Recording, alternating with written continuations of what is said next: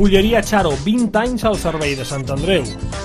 Especialitat en adobats, pollastres i conills farcits.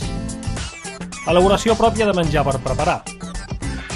Bulleria Charo. Ens trobaràs al Mercat Municipal de Sant Andreu de la Barca, parades 38 i 39.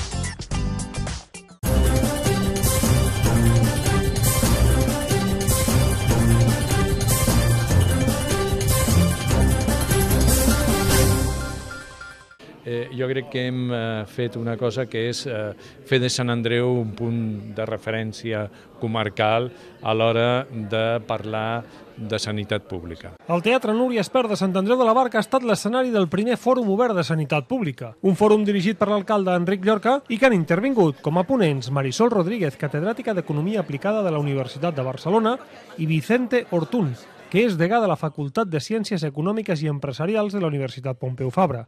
Aquests dos ponents han explicat amb dades i gràfiques la situació de la sanitat actualment.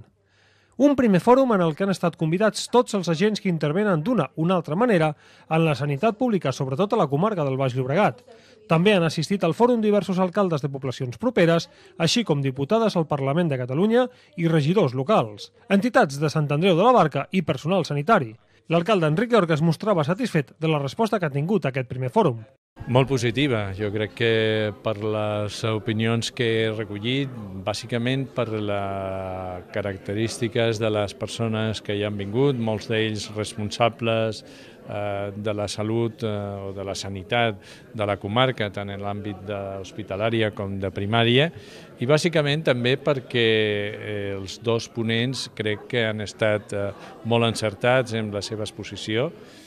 No era una exposició doctrinal, sinó era una, una exposició que tenia com a objectiu el crear doncs, debat i jo crec que, i el fomentar la reflexió, jo crec que eh, almenys aquest objectiu s'ha aconseguit. Veient aquesta resposta, podria haver un segon fòrum. Esperem que sí. Això és una mica, doncs, eh, eh, bueno, eh, estarà en funció de tothom, no? de que la gent vegi la necessitat de tornar-nos a, a, a plegar i per discutir i per reflexionar. Marisol Rodríguez, entre les moltes dades que ha donat, ha confirmat que el grau de satisfacció de la ciudadanía amb la sanitat pública és elevat. Los servicios sanitarios siguen siendo de lo mejor valorado por la población. Y eso es bueno, y eso es bueno porque, bueno, es verdad, tenemos un buen sistema sanitario. Dijéramos que gran parte del choque de la crisis ha sido absorbido, o sea, los, los, los profesionales sanitarios han actuado como de colchón para amortiguar el golpe de la crisis. Eh, porque, pues eso, si a los profesionales les han rebajado un 10% el sueldo, pues ellos no han rebajado un 10% el tiempo de consulta ni, o, o no le han puesto un 10% peor de cara a sus pacientes. Y eso es muy importante. Vicente Ortún, ho té clar, es pot millorar la gestió pública.